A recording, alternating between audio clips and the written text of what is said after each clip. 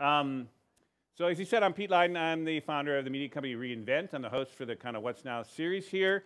Um, it's been four years since we started this in San Francisco in partnership, deep partnership with Capgemini. Capgemini has been with us and conceptualized this from the beginning. It's been a fantastic partnership. We've done um, four years of this every month in San Francisco. We've now expanded. It's been two years here in, in New York. In fact, it's literally two years ago this month we had Steven Johnson who kicked off the series here in New York. For some of you who old timers that might have remembered that one, which was an awesome one. Um, so we've had up to 45 of these now. And the whole idea of this series has been to take really interesting technologists, really interesting entrepreneurs, really interesting thought leaders, and get them to tell us what is happening right now in their space. Not a polished talk, not what's kind of, you know, something like they've been doing to in other kind of larger forums, but to kind of say, hey, what's, what are they thinking about now? What are they, what's going on in their head right now? And also to be thinking about how can we do things better in the future. It's been a kind of future-oriented kind of focus here. And that's what we're going to basically do uh, tonight. Now, it's been the last two years that we've actually had the expanded series here has also kind of coincided with the Techlash. It's been a kind of essentially a reckoning building for technology, big tech and technology companies. And um, this is really kind of one of the pieces we're going to be talking about today. We're going to be talking about the potential of a market reckoning. The title of, the, know, the what we got here is How Today's Tech Unicorns May Be the New Dot Coms Heading for a Crash. For those of you who are as old as me, uh, uh, you remember those days well and bear scars from the great crash of 20 years ago. For anyone probably under 45, you're probably whistling past the graveyard one more time and thinking, who knows what's going to happen here. But um, Scott's got some in interesting, really fascinating insights to this. And so some of you are coming here for the topic, some of you are coming here for Scott Galloway. I'm going to introduce him in a second here.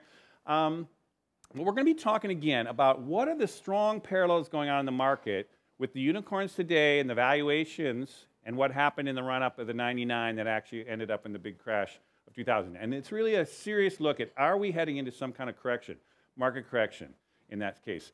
But here's where it gets even more interesting. We're actually, there's another reckoning that's going on with big tech, which is through essentially people through their governments are now starting to push back and get really upset about some of the excesses, some of the, let's just call them unintended consequences, uh, we could call them, but also maybe some intended consequences. But um, we're really watching in our politics now, both parties starting to talk about breaking up big tech and do all kinds of stuff.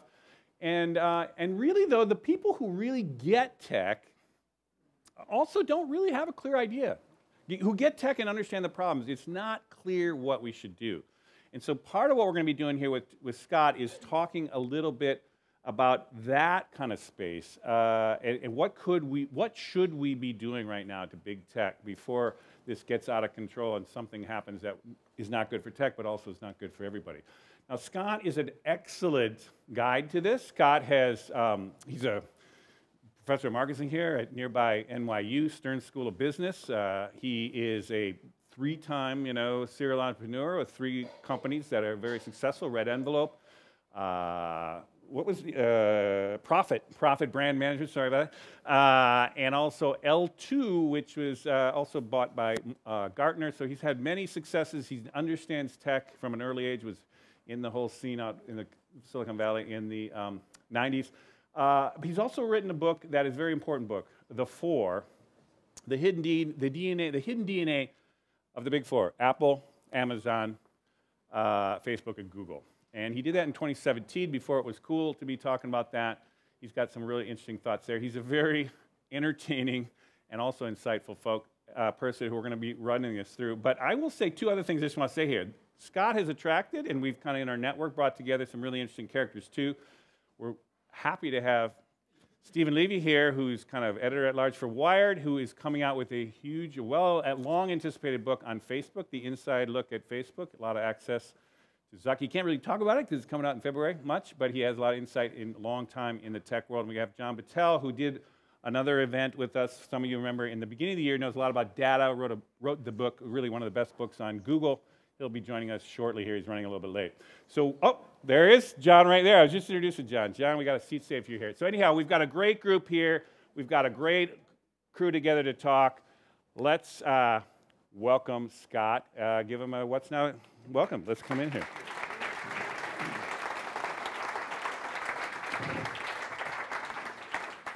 Thank you. Thanks. Thanks for I'd like to thank my dozens and dozens of fans for turning out on a. All right, let's let's light this candle. Uh, so Scott, it was interesting. I to give you a little background here, uh, I just recently got to know Scott. I was um, I've been writing a story for Wired magazine about the next 30 years, a positive but plausible scenario of what could happen right. How could we get a lot of things right, including what could we do with tech right? And I interviewed him and 25 other folks, including John Battelle, uh, who's here, 25 other folks, to really think hard about what, if we did this right, what could we do? And as I talked to him about that stuff, we got smarter and smarter. I got, wow, it was such a great interview. And then he kind of went on a diversion and he said, you know, but what really is interesting right now is the parallel to the dot com crash of 99. And, uh, and you really, that was the thing that really was on your mind. And there's even been some breaking news today a little bit that's feeding into it. So, so why don't you, let's start with that. Let's talk about the, the market correction potential here. And then we get to the governmental potential um, reckoning that's coming. So talk a little bit about what's your, what's your insight there? What do you see happening here in the market? So there are a lot of things that are similar and probably just as many or more things that are dissimilar. And it's always easy to want to harken back and say, well, it's 1999 again. It's not, but there, you know, history doesn't repeat itself, it rhymes. So where does it rhyme? Um, if anyone's an entrepreneur and raising money right now, you're not nearly as cool as you think you are. And I speak from experience. In 1999, I owned 30% of a company that was going to go public at a market cap of $2 billion, according to Credit Suisse First Boston, that was taking us public. Me and a bunch of other guys were being flown to airfields around the West Coast to look at jets, and Bombardier was willing to take stock in exchange for these jets. Um, and I was offered, Prophet was doing, I always talk about numbers, and I know that's crass, but I find that people who don't talk about numbers are already rich and want to use the, the asymmetry of information such that you're happy making a good living when they're making fucking billions of dollars. So I talk about money in real terms. Uh, Prophet was doing three million a year, and I was offered 55 million by a company called Scient. Does anyone remember that? I do remember that. And I said, no, we're going to the moon. I turned down 18 times revenues for a consulting firm that was doing $3 million a year. So there was a certain consensual hallucination that I engaged in uh, between myself and the markets and my ego and this, this kind of bubble and this flywheel or this upward spiral of hallucin uh, hallucination and kind of ego. And I found some similarities if you could code and had a degree from a top 50 university and were 23, you were worth $150,000.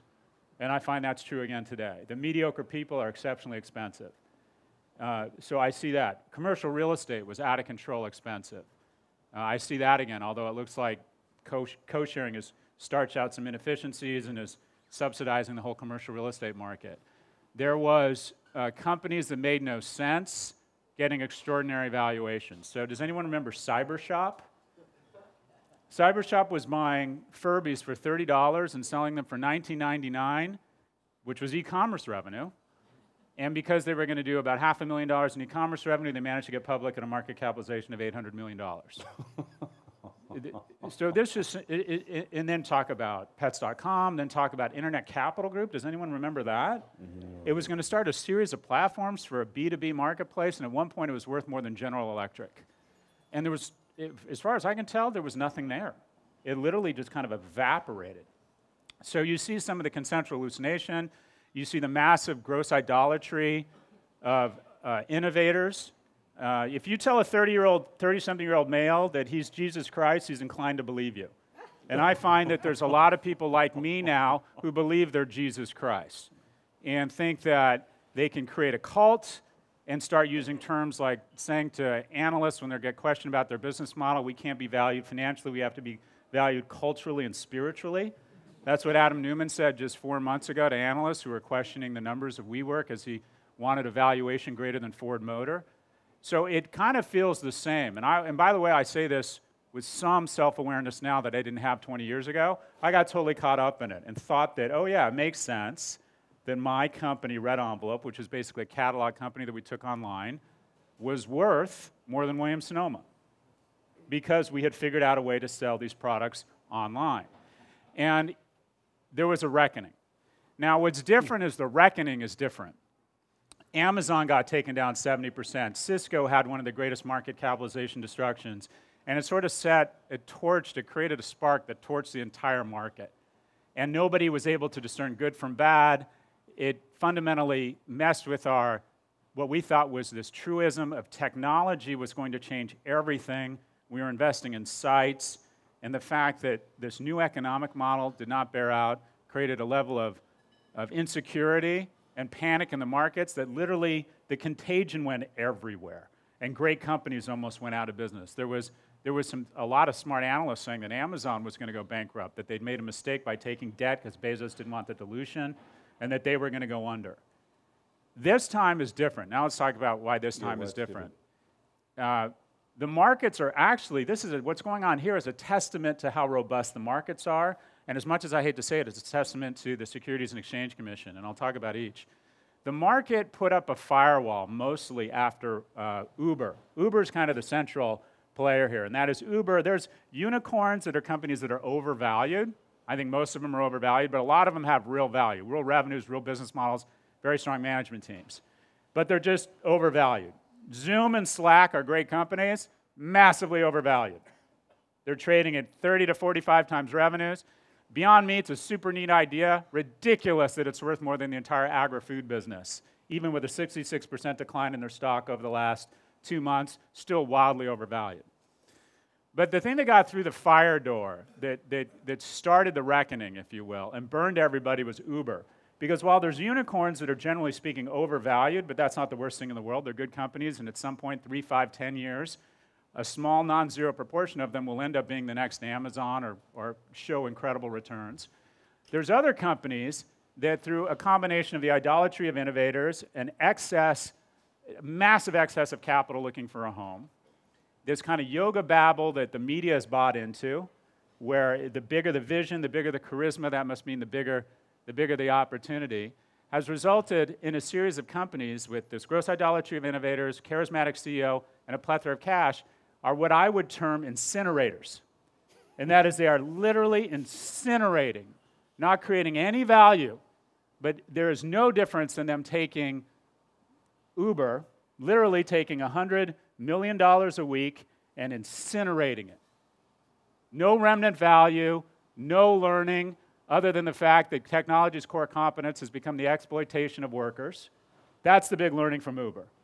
We can figure out a way to rob 5 million driver partners. By the way, partner is Latin for no minimum wage protection or access to health insurance or bathroom breaks, So that we can figure out a way for them to create a payday loan against the deferred maintenance in their cars because of this Hunger Games like economy. If they have a smartphone, we'll convince them to work for less than minimum wage. And despite that, we are burning $100 million a week.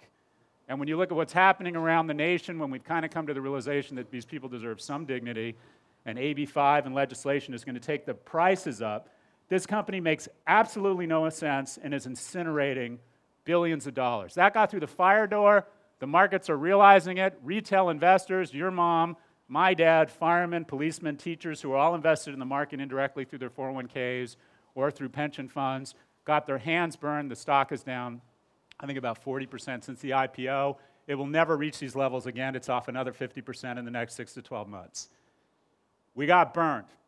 So we're like, enough of that. We're closing the firewall, we're closing the fire door on other incinerators. Oh my gosh, here comes the mother of all incinerators, we. And there was this, and by the way, I'm not piling on. Everyone accused me of piling on. In 1997, and I'm on CNBC saying this and Business Insider, I said we was the most value, the most overvalued private company in the world. And two weeks after I said that, SoftBank stepped in and and did another round at double the previous valuation. And everyone said, You're wrong, you're an idiot. Those who can't teach do, you know, the same criticisms I get all the time. And I said, This is still the most overvalued private company. This makes no sense. And when was that? At all. What? February of 1997. Publicly stated most overvalued private company in the world. Wait, this 1997? I'm sorry, 2017. Yeah, yeah, yeah. Where am I? Where am I? Well, that's you said that the first time, and I was like, 97. Wow, I was like, that's impressive. I am, I am from the past. this is a, this is H.G. Wells meets the Planet of the Apes. Uh, anyways, okay. what is time, anyways? Time is curved. no, stick to the story. We just want so we had we, and the SEC mandates something called an S1 or prospectus, and I was in Nantucket. And I remember the weekend, August 17th, I was, and I literally said to the people I was with, I read the first three pages, and I'm like, I'm out for the weekend. This is what I'm doing all weekend. I had never seen anything like this, whether it was a corporate structure that looked like a Chinese firm, made a Chinese firm look American pre internet. The corporate governance here, which is so ridiculous, it basically said it included that if the CEO who had controlling shares, which is a very dangerous thing, dies, that the management, the board didn't get to pick the, the next CEO, his wife did. And if him and his wife went down in the same plane or bus together, their descendants got to pick the CEO. you had a guy who had sold the We name back to the company where he was the majority shareholder in for $6 million because he trademarked it for his private family office while he was CEO of the company he was the largest shareholder in. He was selling shares in the private market, $700 million, previous to the roadshow, trying to convince you to buy shares, even though he had, he had sold the equivalent of the National Endowment of the Arts, the Peace Corps, and I don't know, throw in the Secretary of the Interior's budget. He'd sold that much in private, private market, but you should buy shares. And then he was taking that money to buy real estate that he was then leasing back to the company at above market rates. What a shocker today. The New York District Attorney has announced action has announced an investigation against we, specifically against Adam Neumann. And here's the thing I don't think Adam Neumann probably did anything illegal other than seeing a glitch in the matrix and an ability to exploit our idolatry of innovators, the, the incredible surplus of cash. But there's a decent chance he might go to jail because the fastest blue line path for an attorney general to the governor's mansion right now is to go after a populist argument against one of these people. And you have 4,000 people who are staring at a guy whose vision they bought into is now on the Forbes 400 list for burning $18 billion. And they are now trying to figure out if they're going to have health insurance. And by the way, they're all voters. So the amount of anger that is about to be unleashed on this guy, and it's going to result in what I, you know, I think, look, the district attorney listens to people. This They're going to go after him. This is, by the way, I didn't know this happened today because I was all focused on this event, but this just happened today. So maybe half the people here don't even know this. But uh, you know, the DA just did launch. DA announced action against WeWork and specifically Adam Neumann. And what we have that's different this time is the autopsy on We will be seen as death by S1. The moment the S1 came out, a bunch of people, media, academics, reporters did some great work. Shira Ovide, Matt Levine, Eliot Brown at the Wall Street Journal, the previous two at Bloomberg, did some great work here and said this thing makes no sense. And what, what was the tell? What was the tell that the emperor had no clothes? Is they said we're going to go out at $47 billion. And by the way, Goldman and JP Morgan both had credible internet analysts propped up to justify that valuation, which to me is like, okay. You know, I've said this publicly the CEO of Goldman Sachs is like the worst fucking DJ in the world, and he's the worst fiduciary. I mean, the fact that these companies were going to prop up an internet analyst to try and convince us these companies were worth, Goldman was saying this company was worth 60 to 80 billion. And then when they, they went on the roadshow, and institutional investors that could do math said, no way. They came back and said, well, would you take 20 billion? So what does it mean? What does it mean when the people who know the company are willing to take a 60% haircut in valuation and still go public? It means they know that they're carrying a sack of shit and they got to get out. And the thing, literally, that's when we knew it was over and they got bailed out at a valuation of 8 billion this thing isn't worth 8, 8 billion it's worth less than zero and here's why as an entrepreneur i've started companies and when you start them in bad times it's hard not to imprint bad dna you spend too much money on office space mediocre people cost too much and you justify hiring them you start spending money on expensive snacks you start mistaking your talent or excess capital for talent and you imprint a bad DNA on the company. This is in good times or bad times? In the best times. In the best By the way, yeah, that's what I'm saying. I'm, I'm literally, I've started nine companies. I'm three, four, and two. I think about this a lot. I'm very data driven. The only correlation between my successes and failures is where in the economic cycle I started a company. This is absolutely the worst time to, sell, to start a company. When shit gets real in the next 12, 24, 36 months, and we go through another recession, which we always do, and we'll survive it, just as we hit the depths of that recession, that's the time to start a business. That is absolutely, every time I started a company in a recession, boom, it worked. Every time I started a company in boom time, did not, did not work. Anyways, the DNA imprinted on WeWork is terrible, and they're not going to be able to pull the nose up. You have employees making somewhere between 30 and 50% more than market. You have a cost structure that is not, you can't, you can fire people, but you can't reduce their salaries. It's almost impossible to reduce someone's salary. It's easier to fire them. And they're trying to do things like turn employees into contractors. This business makes absolutely no sense. The DNA is totally screwed. What Afghanistan and Vietnam were to Russia and to the US, WeWork is to SoftBank. this thing, this thing is a bankruptcy by Q4 or some side of peace with honor, Q4 of 2020 or the middle of 2021. It gets worse from here, not better. Back to you, Peter. Whoa. Okay, um, I'm the optimist. Um, well, let's. So, very convincing about WeWork. But what do you think about the broader market then? I mean, because for example, like you said, last time around, really quality companies really went down. But on the other hand, do you don't you think this would be a differentiated market in many ways? I mean, who's going to really? I mean, the four you're talking about, uh, they might have troubles, which we'll get to in a minute, on outside forces. But um, but there's a lot of good value out there too. So, so, so how do you see this playing out in terms of the, this time's correction, basically? Well, the market's been much more discerning this time, right? The market has said Apple's up 54% in the last 12 months. Companies that people have discerned within unicorns, they've discerned between consumer companies. So they said, all right, consumer companies masking as tech, we got fooled once, right? Right? Okay, that's not, you're not a tech company. Having an app to reserve a conference room does not make you a tech company delivering happiness. You're not a SaaS company, you're selling exercise equipment, that's Peloton.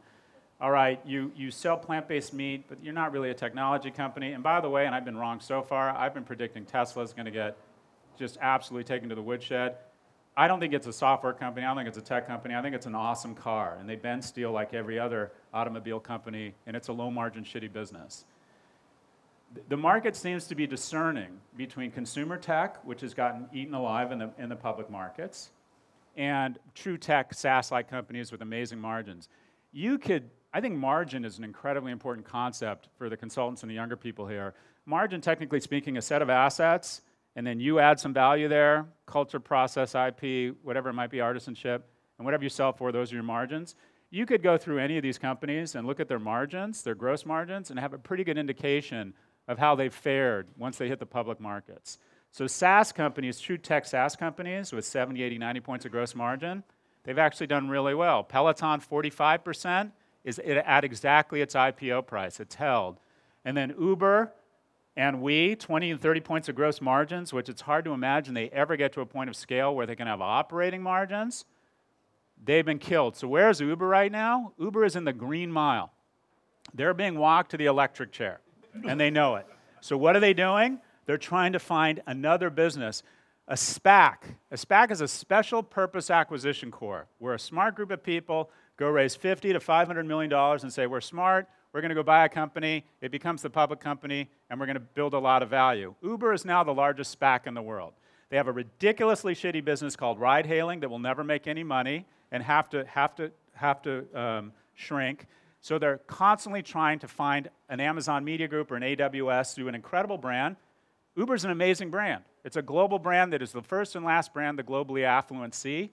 They have a lot of capital still. They have a smart management team. So they have to go find another business to grow into something resembling this valuation. Uber Freight, not so far. Uber Copter, come on, that's stupid. Uber Eats, that business is getting eaten alive by overcapitalization. Right? Look at DoorDash. There's just too much money chasing too few deliveries of Chipotle, right? So it's, it's taken all the margin out of it. So you're going to see, and then they announced Uber Money. Is it called Uber Money? A payment system? They are desperately in a room saying, Uber, fill in the blank here. We have maybe 18, maybe 24 months to find a growth story around a business with something resembling margins. Otherwise, we're done. They're going to have to withdraw from a bunch of markets go from a growth story to a margin story. Uber's a fantastic company. It's a fantastic service. It should be worth five to ten billion dollars. It's down another 50 to 70 percent in the next 12 to 24 months. How about other unicorns though that make more sense? I see a senior person here from Airbnb, and I've done quite a bit of work with them actually. There are unicorns that make sense, don't you think? Yep. That actually are making money, could make money, actually have a good play. I mean, so, so kind of distinguish between that you're, you're kind of. So you talked about Airbnb, and this is going to sound like a setup. I didn't know you're here. I don't know where you are. you look so sheepish and scared right now. Okay. So Airbnb. Let's look at Uber.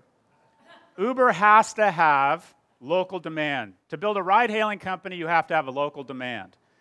But you don't need global, or you have to have local supply of people who will drive cars. You have to have enough money 10, 20, 50 million bucks to convince enough drivers to create liquidity of supply in that local market. But you also just need local demand. You have to create demand among people who want to take cars in the Houston market. Where Airbnb, and I said two years ago, Airbnb would be more valuable than Uber when Airbnb was at 50, and I'm sorry, Airbnb was at 10 and Uber was 50. The valuations will be flipped. Airbnb will much be, much more valuable than, than uh, Uber, probably already is. Why? Because with Airbnb, you need local supply of apartments, but what you also need is global demand, because the majority of people coming into New York City this weekend are from all over the world. And to replicate that, you and I could start a ride hailing company in the East Village or in Manhattan for 30 or 50 million dollars. We'd lose it all, but we could start it for 30 to 50 million dollars. To start an Airbnb competitor right now would take billions because you have to create global demand. You'd have to create a brand that when someone from Copenhagen is coming to Seoul, they know to look on the Airbnb platform. In addition, let's talk about margins. Anyone who's been on Airbnb and pays their usurious fees knows there's margin in there. You think, oh, that's a great deal. A loft in the East Village for 280 bucks, 560 bucks. You're like, wait, no, wait, it's 690? Why is that? And then you see this 90, 110, 130 dollar fee, and it doesn't take a rocket scientist to figure out that when the S1 comes out, their margins are going to be not 20%, not 40%. I bet their margins are going to be somewhere between 40 and 55%. So that company goes public and is worth more than Uber. Airbnb, and this was very fortunate because I always sound like this depressed, angry guy. Airbnb, Airbnb is a winner. Now, whether I don't know what the last last private market valuation is, but but Airbnb is an interesting example of a high margin company with much bigger moats uh, than Uber. Also, the CEO there, I don't know if it's genuine or not, appears to be taking responsibility for problems. This is unacceptable. This is what we're doing to fix it. Instead of, we need to do better. We need to do better. Trust is the most important thing. Trust is the most important thing. I mean, this literally delay and obfuscation, sociopathic communication strategy. Did you see what Dara Khosrowshahi said last week? What did you think of the public? You have a guy on your board who represents the Public Investment Fund of the Kingdom of Saudi Arabia who has been proven that they orchestrated the death of a U.S. journalist. And what was his answers? Well, everyone makes mistakes. we made a mistake. People deserve to be forgiven. A mistake. Leaving the garage door open and the state sponsored murder of a U.S. journalist. He's conflating the two. So, not only, and by the way, I think Dara Khosrowshahi is the new lipstick on cancer. We have the $2 billion beard lipstick on cancer. That sounds sexist as it is, called Sheryl Sandberg who basically trashed her reputation in exchange for $2 billion, running around telling people and women to have this important dialogue around gender, while her platform is weaponized under her watch by the foreign intelligence arm of the Russian government to suppress the vote in swing districts such that we could have an illegitimate president who appoints people to the Supreme Court who are inch by inch eroding a woman's right to choose. Sheryl Sandberg is the worst thing that has happened to women in the last 50 years. Lean in. Uh, I got off track. we might have to get Steven into this conversation. I'm in here, not right now. Um, Anyone here from Facebook? Anyways, okay. back to Brian. He's at least taking responsibility and at least seems genuine about addressing these problems as opposed to the 770 person PR department and communications department at Facebook that is there to do nothing but deploy delay and obfuscation around a company that is depressing our teens. You want to talk about species failure? Self harm among girls. I'm, I'm really ranting now. yeah. Self harm. Okay, go for it. Suicide among teens is up 58%. Self harm among teen girls is up 128%. Why? And I know we're not supposed to, we're supposed to act like boys and girls and there's no difference and it's all a spectrum. Boys are different than girls. Boys bully physically and verbally. Girls bully relationally, and we have put nuclear weapons in their hands, and literally young girls are killing themselves. And when you think about it sounds politically correct to say girls are the future. Well, they are. 70% of high school valedictorians are now girls. Look at what's happening at firms like this. They're now hiring more and more women, right? They literally are. It's not hard to make the statement that girls are the future. And we've decided to let a company, right? And I'm not saying they're the only ones. A lot of it is parents like myself who create this concierge and bulldozer parenting such that our kids never develop their own immunities. But the fact that we can directly reverse engineer Instagram and shaming and, and body shaming and a lack of self esteem and bullying to a company, and they're doing fuck all about it, that is species failure. How do we let this happen? Peter? This seems like a good time to actually shift the conversation, but it, because um, because it actually works from from the market. We're watching the market, the, you know, play itself out. Is to the more conscious politics of okay, what are we actually going to do here? And I, I will say. Um, let's talk about that because you and I actually that's how we started our talk. Um, you say like, was this a good idea? No, no, no, no, no. Totally good idea. Totally good idea. good idea. No, no, no, no, no, no, no. You're you're awesome about it. But um, but I, let's talk about this other reckoning, and we can do both. And in Q and A, we're gonna bring it all back. You know, we can we can talk about the market stuff too. But um, but this is where we make conscious through politics, through government. We're making conscious choices about how do we want to shape these extremely powerful tech, you know, technologies in, you know, carried out by these incredibly powerful companies, yeah. led by these, you know, often charismatic and very powerful people. And um, it's only been recently, the last couple of years, that people who, even within tech, outside tech, whatever, has, has, we've been lionizing this field. We've, been, I mean, I've been for 25 years from early wired watching this story and been, you know, could do no wrong and has grown into these amazing things. It's only been in recent, let's say, 10 years or so that they've gone into the global companies, commanding heights of the global economy, the power that they have. And I think now it's where everyone's going, whoa, what have, what's happened? Right. And how do we really do this? And so there's one way from the outside to just kind of hit a sledgehammer and, you know, break them up and things like that, although I think that's part of it. But I'm saying from a more subtle kind of tech perspective, and this is where you're coming from, you get out of the tech works, you come out of that world, you have enough distance from it to kind of not be beholden to it. There's other folks here that have kind of pointed out earlier in this introduction um, who also have that kind of perspective. And so let's talk about what do we do? Sure. I mean, what, what, what is, how do we start thinking about what you just laid out, the, the kind of tragedy of Facebook? I mean, there, there's a, we, we can kind of wave our hands about that and get all upset about it, but we got to start also thinking about what, what, what really, what's happening here. And I will say one thing, I'm going to jump to the, that you would, when I had my conversation with you, mm-hmm one of the big insights I got from him was you said um, we needed checks and balances in, in a way that we, we've kind of lost the checks and balances in the bigger tech economy, but also the economy at large. And that there's, so from a bigger problem point of view, what do you see as the big problem here? And what do you see as kind of a bigger way to kind of think of the solution? And we can get into some specific ideas, including around sure. the four, and then I think we can get other people involved here a little bit. So how, when you think of the problem, what happened and what do we need to start figuring out? So I th- if you think about it uh, very um, pragmatically or in a sober fashion, they, the CEOs of these companies that I, I you know, try to shame by name or whatever, they're doing their jobs. We're not doing ours. Uh, a powerful part of the capitalist engine is for-profit companies, and their job is to return profits to their stakeholders. And they'll occasionally get together and say, well, it's not shareholders, it's stakeholders, but at the end of the day, you get hired and fired based on your ability to grow shareholder value primarily. And they're doing their job. They wake up every morning and figure out how do we sell more ads, more search terms, more iPhones, uh, uh, you know, sell more cloud-based services. They're doing their job. Our job is to elect people that aren't a co-conspirator to private power, but are a countervailing force. Once AT&T got to 80% long distance, we elected people to win it and broke them up. And they made the same arguments back then. We need, we're national players. NTT is going to take over. You need a natural monopoly to make the capex investment. And the FTC and the DOJ and a bunch of senators said, no, telco's so important, we're going to break you up and see what happens. And within 10 years, all seven companies were worth more than the original company. And we found out that things were stuck in Bell Labs, including cell, fiber, data, analytics. We have a proud history of antitrust.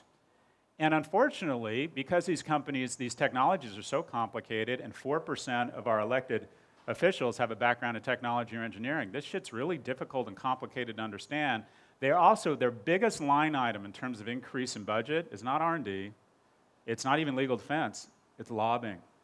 There are 88 full-time Amazon lobbyists in DC. Think about this, 81, 88 really talented people who are doing nothing but playing golf, having drinks, and presenting compelling information to lawmakers around how Amazon should not be broken up.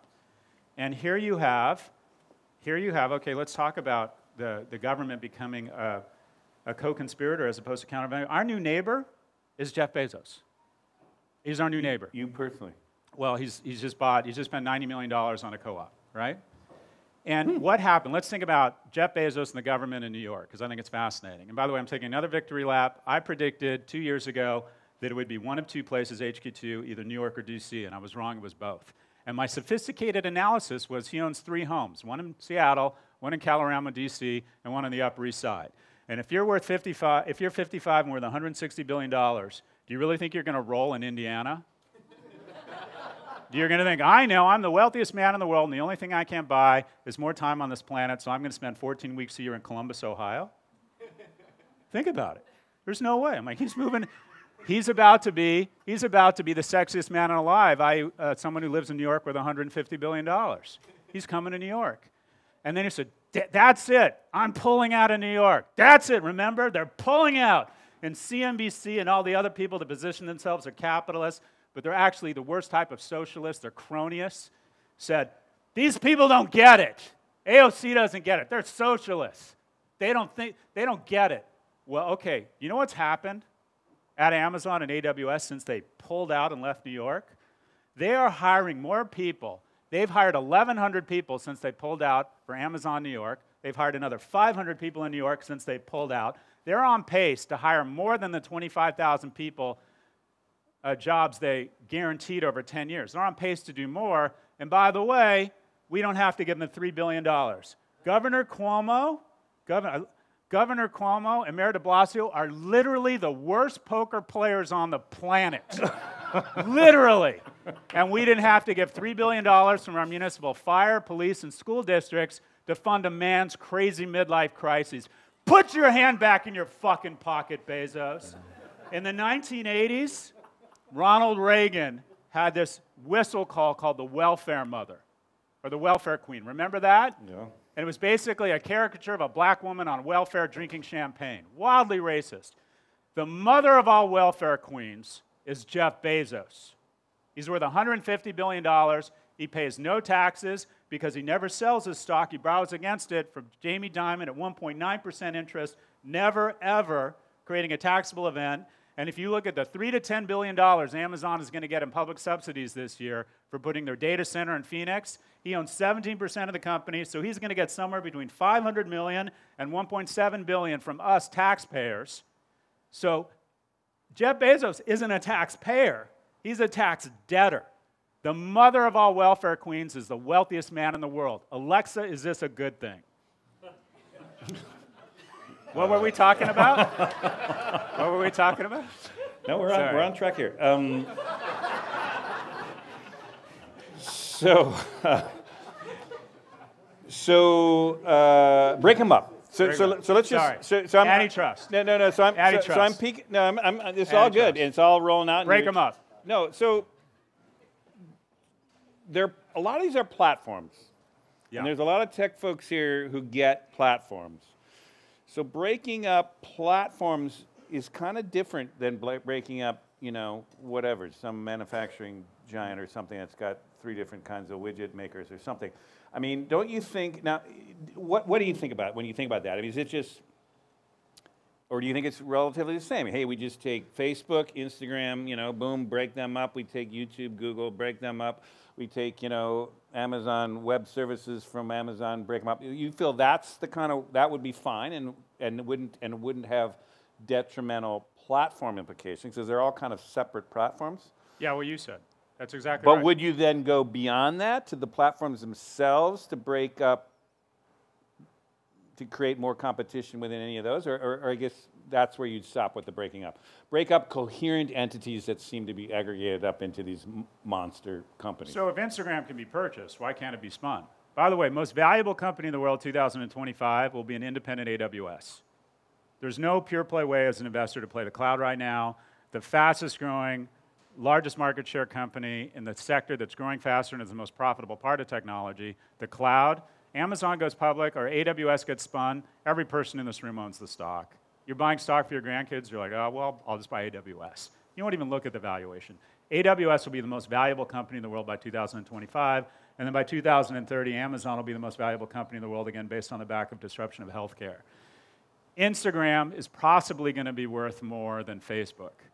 Instagram, well, I think Instagram is literally Condé Nast and um, uh, broadcast TV, and I'm trying to think of the best ways to reinvent um, branding. I think Instagram's just this juggernaut platform, and it hasn't been infected by the Russians yet, and it, is, it doesn't seem to be. It doesn't seem to be uh, um, something that's been weaponized yet, other than the fact it's bad, uh, bad for kids. But typically speaking, we have a long history of breakups. Everybody wins in a breakup. It's like one of the few government actions we get right all the time. Investors win. Look what's happened to PayPal since eBay was spun it, right? And there was all the news. Well, eBay, the payment thing, how do we separate it? It's been wildly accretive for shareholders. The AT&T breakup, the aluminum breakup, the Seven Sisters of, of the oil companies, shareholders win. When they announced, the FTC and the DOJ announced about four months ago that they were going after these guys, their stocks lost the value of Boeing the next market, the next morning. And the investors got it wrong. These companies are worth more separate than they are together. The only person that loses, employees win because they have stock options, investors win, the markets win because there's more innovation. What do you, what do you think the best way to stop the Russians from infiltrating Facebook is if you broke up Instagram and Facebook, I bet one of them will go, well, you know what, the guy running P&G is a veteran. Maybe we say to him as a means of differentiating from the other social platforms, we're going to make the requisite investments to ensure this isn't weaponized by a foreign government. Or someone says, we're going to be the good guys and we're going to demand identity and we're not going to let anyone under the age of 16 be on our platform. You know, everyone talks about this stuff as if it would be impossible. No, it's not. We're not talking about the realm of the possible, we're talking about the realm of the profitable. And there's no reason for Facebook to ever do anything. They're a monopoly. You might get angry and not be on Facebook, and then you go to Instagram to complain about it. If, if, if Google spun YouTube or was forced to spin YouTube, what happens in the first offsite strategy, strategy meeting of YouTube?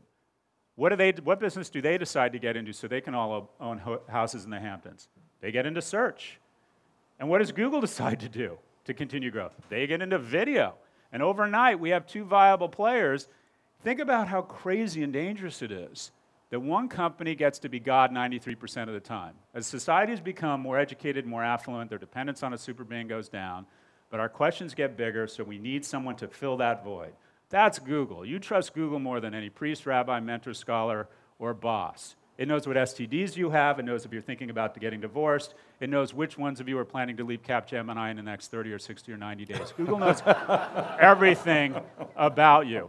And what's a prayer? A prayer is a query into the universe, hoping there's some sort of divine authority that sees everything, processes your prayer, and then sends back an answer that you can trust. that perfectly describes Google. Google, somehow, we let one company be God 93% of the time. We don't understand the algorithms. When you type in how to overthrow my government, is the first thing you see how to build a dirty bomb or a voter registration form. And one company gets to decide that. That is really uncomfortable. We need more than one company making those decisions. And slowly but surely, as a means of differentiating from each other, they'll raise their hand and go, you know what? We're just going to get rid of instructions on dirty bombs, just for the hell of it. We're just going to decide that's not cool. Right now, they have no reason to do anything that gets in the way of their supernova business model. So they will delay and obfuscate and use these terms and throw very attractive people in front of Congress and send them on book tours. These are some of the most likable people in the world. I purposely, I know I'm bragging, I don't meet with any of these people because I know I'll like them. you they're will impossible. Like yeah, will like. them. They're impossible not to like. They come across as genuine and they want to know you. And oh, Scott, I love your work. I mean, we disagree, but we love your work. Would you like to do a dinner with X? I'm like, fuck that. I don't want to be co opted by these people. You'll like them. You'll absolutely like them. I don't know where I was going with this. okay. Sorry. Well, then we'll shift to one. Uh, it's a the few mess. more questions here, and then we're going to open it up to some other folks. But um, data. Do you have any strong feelings about how the lifeblood of this economy works? Do we need to fundamentally rethink who owns data, who has access to data, how we plug and play data between competitors? Uh, I know John's been thinking about this a little bit, but I'm curious, where, where, do you fall in this world? How do you think about that? So if you look, the young people in this audience have voted with their actions, and that is you want your privacy violated as long as there's utility or it can help you get to the airport faster. So privacy is a vastly overrated concern until recently. And then when we found out, wow, we didn't realize our, our data was being molested like that, there's ideas around giving you so sovereign ownership of your data. I don't see how you would implement that. Again, I see the answer as competition, and I also think we start fining and firing and putting people in jail when data leaks or gross negligence turns into really dangerous things for our society. So, for example, the CDC has really, really sensitive data on all of us. Really sensitive data. If you're diagnosed with a certain illness, the C, they, it, doctors have a mandatory disclosure to the CDC. They have very, but they haven't been hacked. They haven't been weaponized by the GRU. The CDC figured it out, but the geniuses at Google can't. No, they can. They just don't want to because the CDC is, I mean, the CIA hasn't been hacked to the same extent. They have incredibly sensitive information and a ton of data. So there are organizations that have figured this out. So I don't think it's, I don't think it's as much around data use and data privacy. I think it's about enforcement of laws. I think it's about holding people accountable. I think it's about competition, such that people say, I will make your data portable. The, the act that just passed from Senator Mark Warner that makes data interoperable between platforms is a start. We need thoughtful regulation like that. But I do think the answer is competition and also holding these people accountable.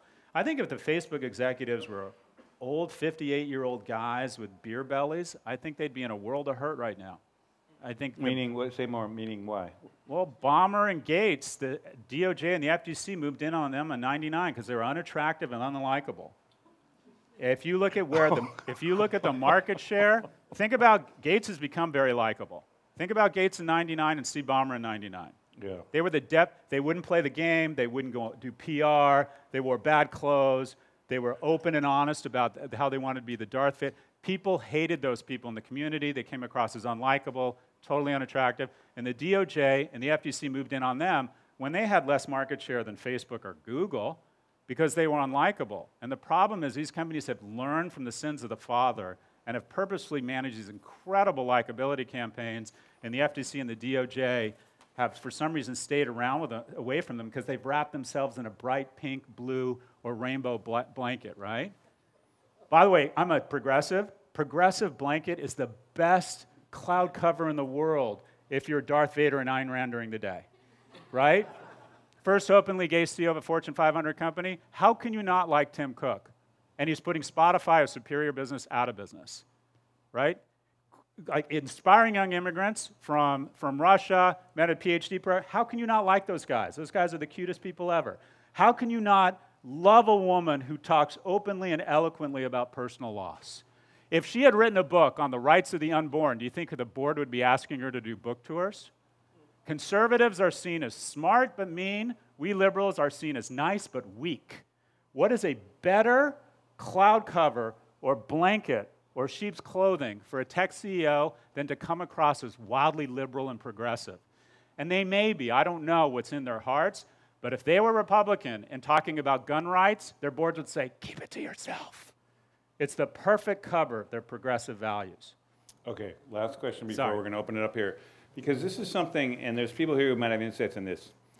It gets to the tech world. I mean, I've been part of it for 25 years. You have too. Um, is there an opening here, despite what you've said? Because uh, is there an opening that tech? It's a young industry, relatively heady industry. Just happened overnight. This power. Um, a lot of the people who work in the industry, their employees are want to do the right thing. They don't want to be part of a company that's the kind of dark side of everything. Do you think there's an opportunity here for the tech world to really play ball with not just federal government, the governments, European governments, state governments, and really start to rethink what what they do and, and, and take, you know, in terms of spreading taxes differently, moving wealth differently, open to regulations differently, you know, becoming more kind of utility, you know, they're almost like utilities. I mean, do you think there's in the next 10 or 12 years or 15 or whatever it is, a shift in the zeitgeist of the tech world in a way that you didn't see in Wall Street, you didn't see in the oil industry, older industries, battle hardened, you know, decades and decades there. Do you think there's something different about tech and or an opportunity here, or do you think I'm just dreaming? I think you're dreaming. okay, uh, okay.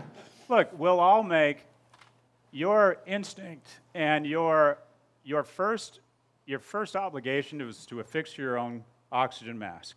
Your obligation is to provide economic security and prosperity for your family, first and foremost. And that instinct takes over. Yeah, but a billion dollars or two well, billion or a hundred million or what? I mean, how much is too much?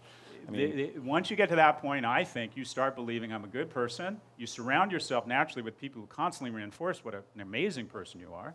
You start buying reputation with philanthropy. You start doing good things with that money, and you start believing your own rap. It's very the person running Altria thinks he or she is a good person. They don't wake up and think I'm a bad person. The people at the NRA think they're good people. They will never make the link between the sale of assault weapons and the murder of children. They will never make that link.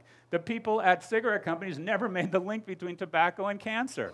And they weren't bad people. You will, all of us, I mean, a certain small minority of you are better people than me and will, will, see, will be willing to sacrifice your own economic well being to do the right thing, the majority of people in a capitalist society because if you get rich, you have access to better health care, you have access to a broader selection set of mates, and your kids are going to prosper.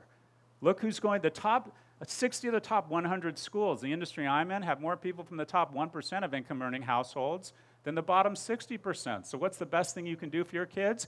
Be rich.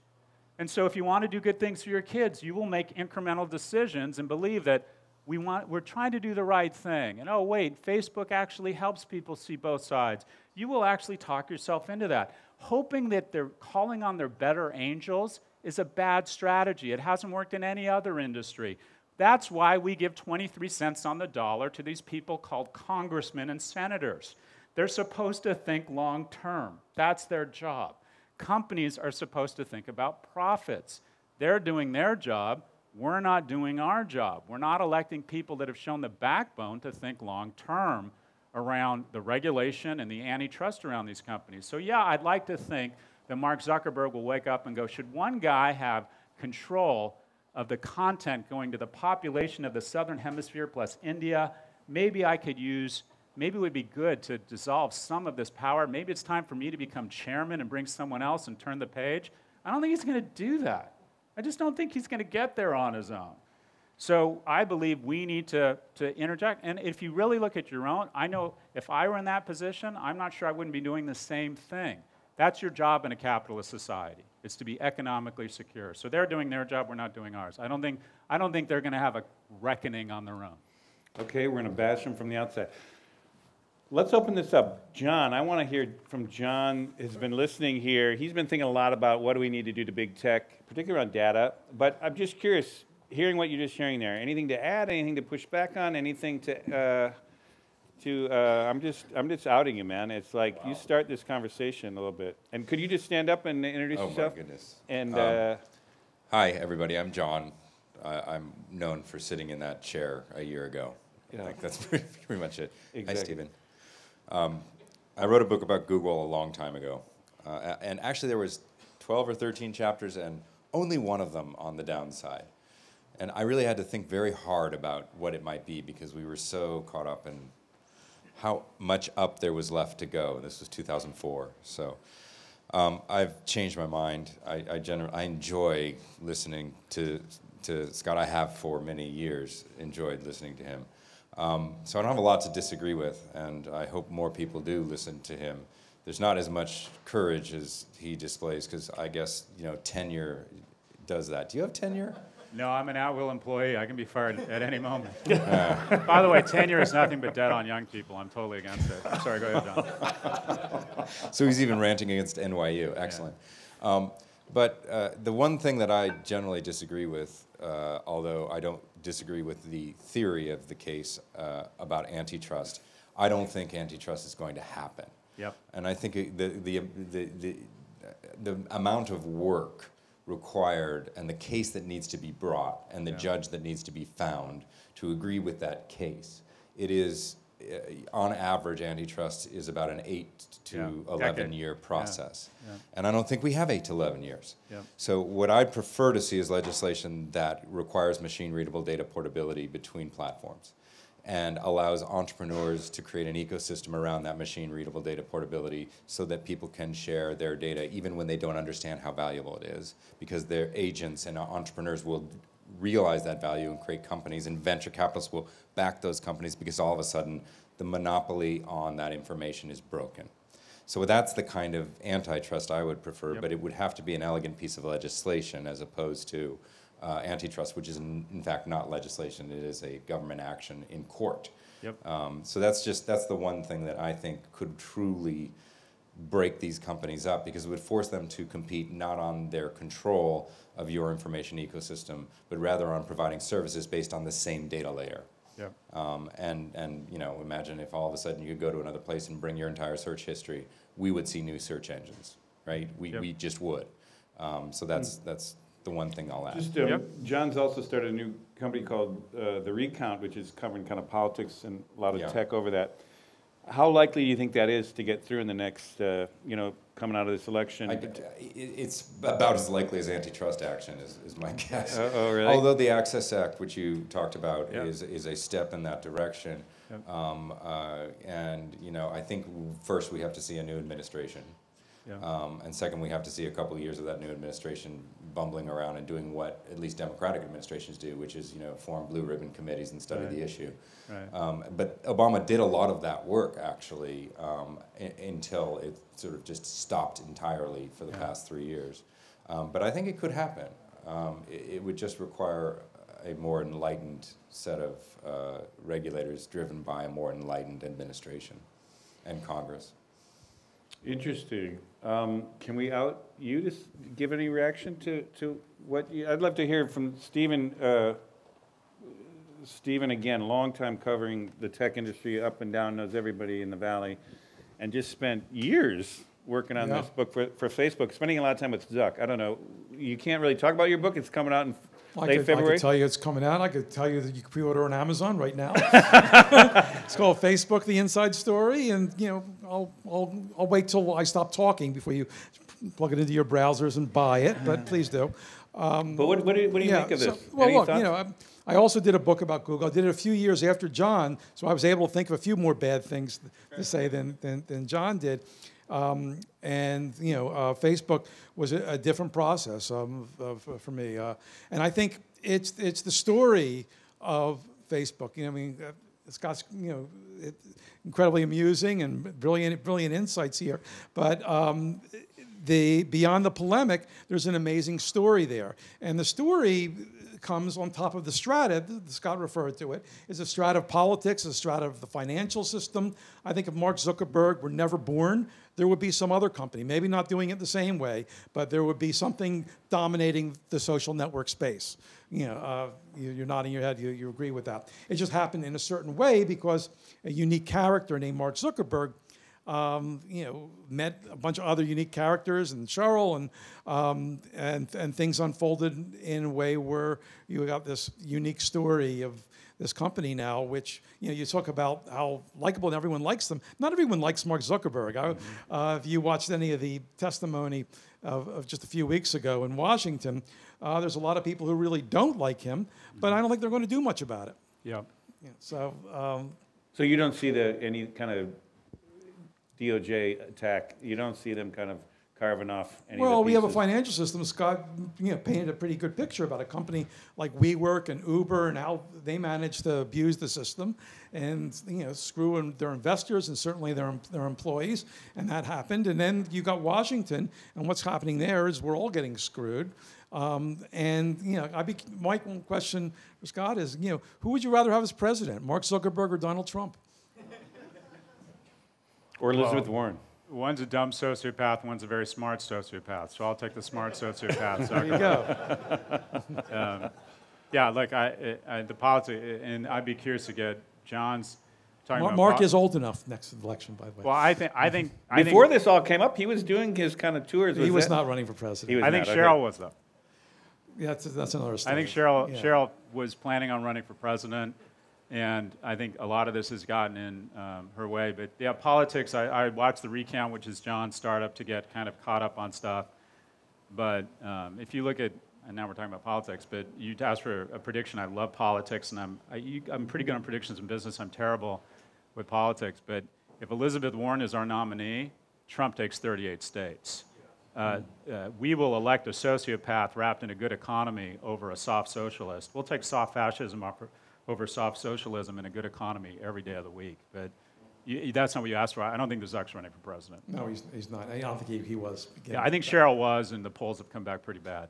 Well, we've had the conversations about that. Something else you'll see. Yep. about. Well, let's Uh, pick up on that. forward But let's open it up to folks. A lot of stimulating questions here. Um, and uh, uh, let's see here. What, what's right here? Let's try this. And then let me see the hands of people who want to just do it. Okay. Please introduce yourself. Yeah, stand up and Hi, introduce yourself. uh, Because we're Tristan videoing Lewis this. And, from yeah. TNL.net and long time cover. I mean, I've been covering the space for a long time. Um, so you say if they broke, let's assume that Yep. antitrust is possible and uh, Yep. and you can break up those companies, and now Yep. they start getting into each other's business. So Google is a search company, and let's say Microsoft decides to go after Google's business and launches a search engine. We'll call it Bing, just for the, the case of. Uh, Yeah, yeah. uh, and let's say Amazon is now the standalone uh, e-commerce company, and Walmart, the largest uh, company in uh, in retail, is trying to go into this business also and launches Walmart.com. Yep. Haven't we seen that story before? And has it not really played out to anything else than monopolies? You mean eventually they come back together and they become mon- monopolies Yeah. again? So that's a fair point. And if you look at the breakup of AT&T, Mm-hmm. they all we ended up we went from one to nine. Now we're back to basically two and a half again. So you're right. It, we probably will end up in the same space. But what I would argue is between now and then, there's tremendous innovation and, and value that's unlocked. That we might end up back in a similar situation where one search company controls 90% of the market. But between here and there, if we have several search engines, I think more VC-backed companies, I think more taxes paid, I think more hiring, I think. we have several search engines. Well, that depends if you call Amazon a search engine. Okay, you can call Amazon a search engine Right. for commerce. Yep. You can call Bing from Microsoft a search engine. Yep. DuckDuckGo, which has been betting on Come on. privacy as a search engine. He's, he- he's just, because he's not on the mic here. He's Okay. just, yeah. Okay. companies That are search engines. Yep. And it seems the customers Yep. have voted So one. Uh, uh, if we were to, for example, if you look at, so we like to think we're in this era of innovation. And if you watch CNBC or read the Wall Street Journal, you would think we live in this era, of this unbelievable era of innovation. There were twice as many companies being started every day in the Carter administration than there are now. The, uh, there, 15% of companies used to be less than a year old. Now it's 7%. This is the era of non innovation. There are a ton of people here that should be starting businesses, but the problem is the fastest growing parts of our economy are controlled by monopolies or duopolies. So the, if you look at sectors in terms of seed funding, the companies where seed funding has dropped off a cliff the last five years, tech hardware, search. Try and get a social company start, funded right now. E-commerce. They're all, they've all fallen off a cliff. The places where all the seed funding is going into is where there's no one dominant company. FinTech. There's seven big players in the US, and what do you know? FinTech is exploding. Biotech. I mean, uh, where there's no monopoly, and so I believe, and I think we might end up back in the same place, but I think if we broke these guys up, we would oxygenate the uh, economy with a ton more seed startups, a ton more employment, a ton more hiring, and a ton more competition. We might end up back in the same place, just as we have with telco. But the last 40 years have been disco in the markets for telco. There's been unbelievable value created that I would argue may not have been created had AT&T been the one kind Right. of lumbering giant. And there's also a natural monopoly argument that maybe we should have one search engine, that the requisite investments and having everyone, everyone on one search platform makes sense.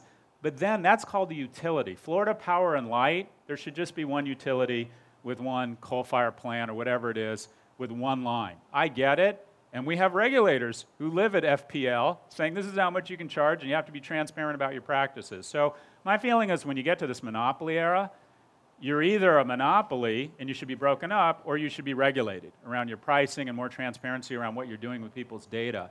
Your argument's a valuable one, though, and it's a valid one. And a lot of people say, what's the point? We're going to end up back in the same place anyways. But the regulations, we didn't talk about that, but the utility analogy, if there was only one place to do a lot of these key things, not just search, but you could imagine, you know, Amazon e-commerce or, you know, whatever it is, Apple apps or whatever it is, um, regulation. I mean, more transparency, more kind of oversight. You think that's a viable way potentially forward as well? Yeah, and what John was talking about, and John's friend, and I don't know him as well, but I have a ton of respect for him. He's like, you know, as kind of inflammatory and, and, and, and crazy as I am. The guy with the substance is an academic up at uh, Columbia named Tim Wu, who oh, teaches oh, yeah. at the law school. And he makes very thoughtful arguments around regulation and interoperability and I understand the breakup part of it, and I think I can speak to it with some credibility. He understands the regulation part. That's where it gets above my pay grade. But I think it's a combination of all of those things. What's not going to happen is a consumer led revolution. That's what always cracks me up. That we're going to expect us to do something about it. If you ordered a little black dress today from H&M, how can that happen without, without human rights abuses? Like, how can, that, how can that happen? And yet, at the end of the day, consumers will use kind of CSR or whatever it is as a tiebreaker. But they, generally speaking, Go for the best product at the lowest price, full stop. Hmm. In the back here, could you introduce yourself? and Yeah. It should, it should be on unless you touched it. Yeah. Okay. Uh, so, hi, my name is. Do we have it on? This is like. The mic? I know it's two. The, one's because of the live stream. We got folks coming from all over. Okay, there we go. There we go. Hi, my name is Courtney Harding. Um, your comment about human rights abuses actually led quite well into the question I was going to ask. Yep. Um, I was first going to ask you to just um, murder Magic Leap because I imagine that would be pretty funny to watch you do, and I would like to see that. The but, Florida unicorn, one of two Florida unicorns. But my larger question is Magic Leap is, is really funded by, at least in a large part, the Saudi Sovereign Wealth Fund, yep. as is Uber, as are a lot of other companies. Twitter. Twitter. And given everything that we know about yeah. what has happened, including uh, human rights violations, journalist murders, why aren't why does no one care? Why are people like, yeah, that's a bummer. We made a mistake, but like they still use Uber, they still use Twitter. Yep. No one's buying Magic Leap, so I guess that's kind of a different thing. But companies yep. are still willing to take money from yep. them. And when Magic Leap announced their raise from the Saudi Sovereign Wealth Fund, literally no one I saw was like, "Oh, that's a bad thing." People were like, "Cool, more money for Magic Leap right, and their right, vaporware right. headsets." So, I mean, murder Magic Leap if you like, because I would enjoy watching you do it because I think you're good at murdering these companies. Um, but the larger question is really more serious: is why yeah. does no one care that the Saudi sovereign wealth yep. fund is pouring money into American startups? Yep. So it's it's it's strange and wonderful you brought up Magic Leap. I'm a resident of Florida, and I've lived there for nine years, and I commute to New York two days a week uh, to teach and to, to do some work. And we have two unicorns. I think we're the third or the fourth largest state by economy, and we only have two: Chewy which is kind of a cooler pets.com that actually works, and Magic Leap. And as far as I can tell, Magic Leap is just not working. VR, and it's not just Magic Leap, VR is stupid. We anoint people Jesus Christ of our generation. You know what caused Magic Leap was Mark Zuckerberg, who said VR was going to unlock new worlds. Anyone using virtual reality? Supposedly, Mike, do you do use it? I do it for a living, but I don't like Magic Leap. Oh, you don't like Magic Leap. But okay, so effectively, Internet of Things, 3D printing, virtual reality, um, all these things ridiculous. Your, your blender doesn't need to speak to the internet. People still are paying 7,000 bucks to show up to my class. Supposedly VR was going to just ruin my career. People are not doing surgery. I mean, some stuff, but there'll be limited applications. But Magic Leap looks to be just something that one of these incinerators, access to cheap capital, charismatic founder, and it's going away. Your broader question around why we continue to take money. Now, as I get older, I'm a conspiracy theorist. Wow. And just That's because just trend. because I'm paranoid doesn't mean I'm wrong, right? Okay, so this is what really happened at WeWork. The CIA has enlisted Masayoshi Son as an agent and an asset, and has said we need to wreak havoc in the kingdom of Saudi Arabia They're an unethical government, and we want to create dissent and agita and murder and instability in the kingdom. And at the same time, we want to transfer back five years equivalent of oil import revenue. So we're going to basically create this luxury item, and all wealthy people feel they're entitled to luxury items, and this luxury item is going to be called the Vision One Fund. And you're going to do it because you had the luckiest investment in the world. You put 20 million into Alibaba, and it's worth 100 billion. And so we think we, you can fool them into giving you 40 to 60 billion dollars. And what we're going to do is we're going to transfer all of that wealth very unevenly, but we're going to transfer all of it to America. And we're going to get back five years of oil wealth. It could happen. now, I realize how crazy. That's season eight of Homeland. Um, Homeland. I am torn about whether or not we should cash their checks because, for example, the Japanese in the 80s started buying our golf courses and our studios, and everyone was in a kind of a racist rant saying, well, they're trying to do to us economically what they couldn't do to us militarily. And we were freaked out. And you know what happened? They left with pennies on the dollar, and a bunch of American investors and owners of studios and golf courses made like bandits, and they left. I'm not sure whether we shouldn't be cashing their check. I know how terrible that is, but if they want to bring down the cost of capital for American entrepreneurs by flooding the market with cheap capital, fine. Don't put them on your board, kick them off your board. But I'm torn. I, I have no moral clarity around whether or not American startups shouldn't take the cheapest source of capital. I understand the moral conflict around it. I, I understand when people say we shouldn't take their money. But I think there's an argument to say if American companies can cash someone's check and transfer money, the Kingdom of Saudi Arabia is going to get hurt by Uber. an illegitimate, or what I'd call, uh, you know, not a wonderful government is about to get a serious shit kicking at the hands of Uber and we. Is that a bad thing? Should we have not cashed their check? I don't know. So I don't, I don't have a great answer. I think there's good arguments on both sides. But if I were an entrepreneur raising money, I'm not sure I wouldn't cash their check. I think it's easy to say don't take their money. Anybody back here? Let's go way back. I know there's others over here, but let's. We haven't had anyone from this side, so let's get you. Let's get the mic there. Uh, hi, Scott. Uh, my name is Sid. Um, work here with Fahrenheit. Thank you for that. That's uh, fantastic insights and really helpful to Thank kind of you. frame that in the broader scale of things that are happening. I have a question for you. So, as you've thought about and looked at the market collapsing 10 years ago, you've seen it in 99. Um, with all the things you know now, what's the next business I should be building next year? if I were a young guy with your hair, I'd be running for senator of Pennsylvania. But seriously, my rap, your hair, we're overseeing the intelligence committee in like two election cycles. Um, anyways, the business I would be on if I was coming out of business school. I mean, there's a you must get this all the time with you. You got yeah. all these business schools. So kids come to my office hours and never want to talk about brand strategy or digital marketing, which is what I teach. They want to talk about their careers. If you charge someone 170 grand for a credential, that's like, okay, boss, I need to make serious money, and they all want to talk about their careers. Um, and a third, think about this, a third of my class goes to work for Amazon, Apple, Facebook, or Google. And they Seriously? think I'm going to try and talk them out of it. I'm like, oh no, go to work there.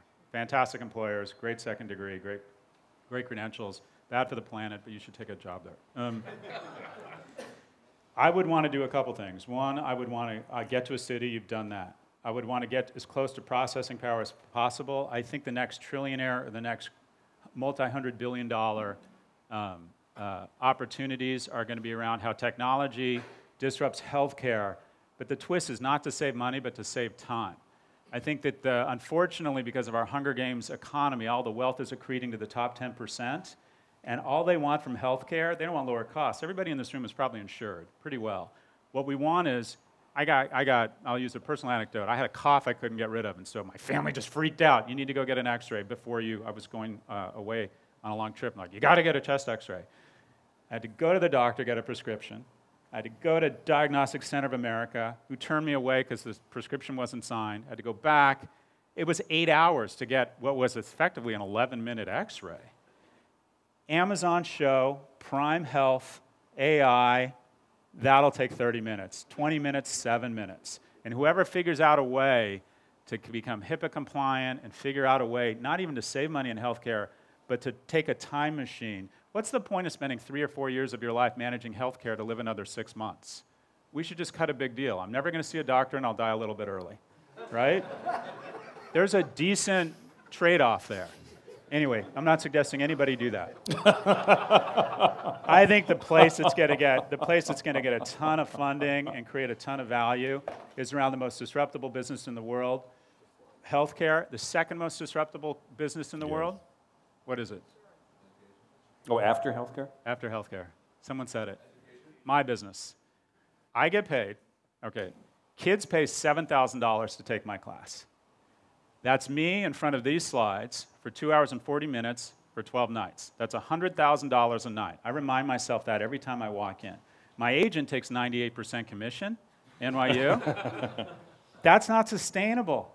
There's got to be a ton of opportunities in education to give people skills, credentialing opportunities for more economic upside without charging them $170,000 and creating an application process that says, you're either some kid from the inner city that's already got a patent. Oh, yeah, that's easy. Or you're the son of rich parents. That's what basically, I work for the biggest caste system in the world, right? The reason, literally the reason I'm here is because of the generosity and vision of California taxpayers and the regents of UC. I was raised by a single mother. I got undergrad and grad at UCLA and Berkeley for $7,000. That's why I'm here. I have absolutely no illusions that it was my talent or my good looks. It's from the, it's state sponsored education. Now, school is 160 grand for two years at Stern.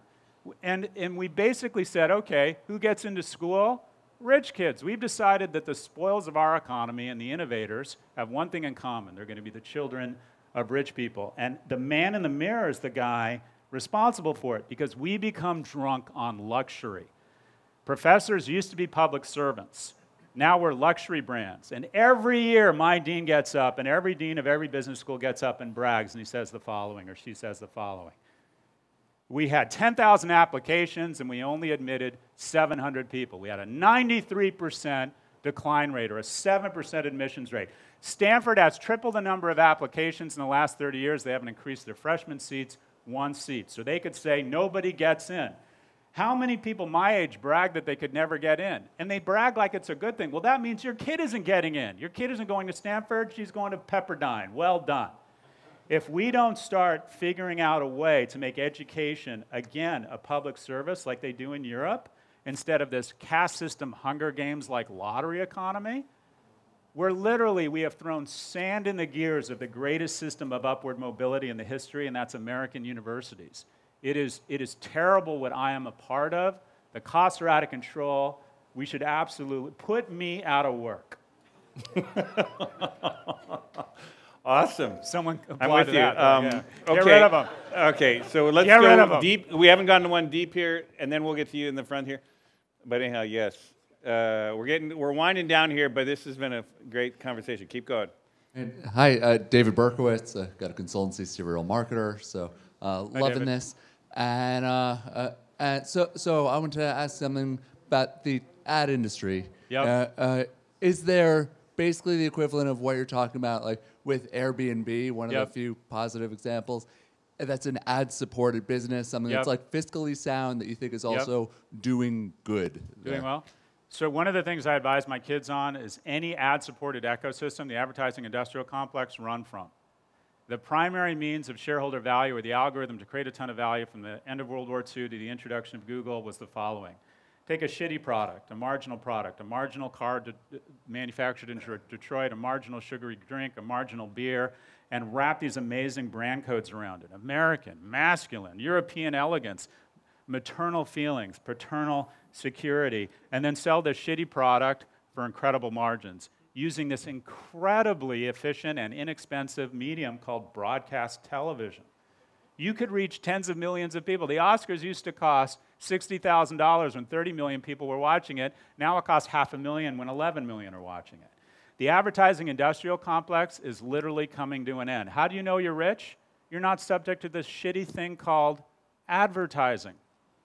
Modern Family, which is an amazing show, monetizes every viewer 49 cents for nine minutes of ads. So they've said your time is worth $3.40 an hour. And Apple said, no, it's not. People will pay 20 bucks an hour. They'll pay us three bucks to avoid it. So how many of you download shows on iTunes or Apple at three bucks when you could get it for free, but you don't have to endure that, that nine minutes of bullshit called advertising. Advertising has become a tax that the poor and the technologically illiterate pay. You want to run as far from that ecosystem as possible. It's becoming the personal injury, the, the low budget hotel. It, look at the ads. Basically, advertising is the pharmaceutical Full Employment Act. Oh, you have opioid induced constipation. I mean, it is just. I watch ads now, I'm like, oh, advertising is basically a, long, nine minute lesson in how much it sucks to get old, and that you should buy a South Korean car or a shitty light beer. Boom, I just saved you. Do you realize if you only let your kids watch Netflix, if you only let your kids watch Netflix this year, they save three weeks in advertising. Netflix is the best bargain out there. It's a time machine. If I watch Netflix for the rest of my life, I save 11 months in advertising for 5500 bucks. I'll extend my life a year for 5500 bucks. Anything that's ad supported, run my brother, run. Okay, well to add on that though, for those of us who value good journalism, yeah. Yeah. Uh, does the inverse is the inverse true that in fact people are going to pay for good journalism, and we are going to build a good journalistic ecosystem that's sound and adequate to the challenges ahead of us, or, or, any thoughts on that? So I'm boasting now. I was on the board of the New York Times for two years, and the first thing, and this is a true story, I suggested in my first board meeting was we got to shut off Google. They're taking our data, they're commoditizing us, they're giving us a nickel, and they're selling it for a dollar, and we're taking the Birkin bag of this gorgeous content and we're selling it through Walmart. And it's a sewer. And I wanted to get together the, the Murdochs, the Newhouses, the guys from the FT and say, we got to shut this shit off. And, but no, we got caught up in the idolatry of innovator. No, we want to be cool. And Steve Jobs came and met with us. So we put our app on there. And then we met the smart people at Google and said, okay, pull up your dump truck and take all our money. I mean, we could not have been more stupid. Now, what's happened in the last four years is that truth has become differentiated. Like fact driven, peer review, truth has all of a sudden become differentiated because the amount of lies has grown so exponentially that all of a sudden the Washington Post and the New York Times are luxury brands. And people, good journalists like yourself, Peter, who actually fact check and push back and show both sides, these great credible brands, including the Wall Street Journal, including some conservative outlets, are all of a sudden people value them more because they're highly differentiated, not because they've gotten so much better, but because the world has gotten so much worse of everything surrounding them. So the Washington Post, the New York Times, for the first time, their subscription revenue is now greater than their ad revenue, which again is a really good forward-looking indicator. So I have a lot of I have a lot of hope for the first time in a long time around uh, around journalism. I, it, now the scary part is the number of corporate PR executives has tripled in the last 30 years. Tripled. Corporate PR executives have tripled in the last 30 years, and the number of journalists have been halved, which means the ratio of bullshit spin to truth has, gone, has been flipped six to one. And I take a vow, and I ask any other person in any sort of influence, um, self absorbed enough to think I'm an influencer. I refuse to meet with any corporate PR person. And they mask, hey, Scott, we should have lunch. Or, hey, Scott, how about lunch with me and our CEO? I'm like, you're in, you're in PR, you're in communications. They call themselves different things communications, strategists. And I'm like, don't meet with any of them. And always, always, I will meet or return the call of any journalist. I will never meet with a corporate communications hack. They are literally have overwhelmed the system. And the greatest police force, the greatest investigative force in the history of mankind that doesn't carry badges and guns are US journalists. And so, for the first time, I think we finally bottomed out, and I think for the first time, we see a year on year increase in the number of journalists. And I think it's a I think it's a wonderful thing because billionaire Republicans buy football teams, billionaire Democrats buy newspapers, which is probably a good thing. Is that a good thing? Do you think that's a good thing? There's, it's the, better than going under, I suppose, but yeah, is that a good thing? I, I do think on the whole, it's not ideal, but on the whole, a benign owner with really deep pockets is probably a pretty good owner for a media company. Who, and by the way, so far the owners, everyone thought Rupert Murdoch was going to ruin the Wall Street Journal. Maybe you hate Rupert Murdoch. The Wall Street Journal, I think, does, still does a great job. And by the way, the Wall Street Journal right now is considered the most trusted brand in the middle. That's where the middle is now. I think that Bezos, I'm not a fan of Bezos, as you can tell. I think he's done a great job with the Post. I think the Post is a more robust entity now with his resources, and my sense is he's kept his hands up mostly. Do you you know this better than I do? Mm-hmm. What do you think? Yeah, no, I'm hearing good things. So so far, I think it's others might know. Is better. it ideal? I'd rather it be owned by all of us, or but so far, I think it's been it's been a, a net a net positive. Okay, we're coming to the very end here of this uh, time together, live stream, the video, all the thing and you showed a glimmer of hope there. You, you were optimistic there about, about the rise of, uh, of uh, journalism. But I, I want to just give a last word here of just are you generally optimistic about what lies ahead here for America in the next? Because I'm writing this piece to 2050, right? Yeah. And it's a unabashedly positive but plausible scenario because we're fighting so many dystopian narratives actually out there uh, whether it's sci-fi or whether it's news stories or whether it's you know the robots are going to take over or climate change is going to kill us all or everything's bad and oh my god we're killing each other it's civil war in the country. I mean whatever. We know all that negative stuff. But what was interesting when i reached out to you for this story you immediately jumped to it and you said you know what? We got to be thinking more positively about right. what's ahead. Right. So tell me why you were interested in that and Tell me how you actually feel. What do you tell your kids? What do you what do you actually think is going to happen here coming up? Look, there's some wonderful. I mean, my steady state is angry and depressed. That's kind of what I. That's my heart rate. That's my heart rate at rest. But if you zoom back and you look at the world, infant mortality has been cut in half. In in 30 years, it was supposed to take 50. True, true abject poverty goes down at a faster rate than the World Health Organization was projecting. We're probably going to get rid of hepatitis C. Is now. I mean, there's some wonderful wonderful things when you zoom back. When you look at America, I'm less hopeful. But what always encourages me, I always think about my mom. My mom in 1944 was a four year old Jew living in London, and her dad used to have to take her and her four sisters into a bomb shelter that was the makeshift tube. The London Underground is where they slept because their, bomb hit, their house had been bombed. And if Hitler had gotten across the channel, I wouldn't be here. And think about, like, think about how technology turned that back. It was technology. We were in a foot race to split the atom uh, before Hitler. And a bunch, like essentially 40,000 super smart Canadians, uh, Americans, and British got there faster. And then 30 years later, we put a man on the moon with 400,000 Americans, Canadians, British, and some very smart Nazi rocket engineers. but my God, if we can turn back Hitler, if my mom was sleeping in a bomb shelter, we can absolutely turn back fucking Google. I mean, for God's sakes, we can, you know, if there's a greater comity of man, if there's a rallying cry, if there's the kind of leadership that can continually is demonstrated in America, we can absolutely address these changes. I'm very, on a day to day basis, I'm angry and depressed, but when I pull back, I'm incredibly optimistic about what we can, what we can accomplish here. Right on, brothers and sisters. right on. And that's a great place to end. Let's give a great hand for Scott. Wonderful.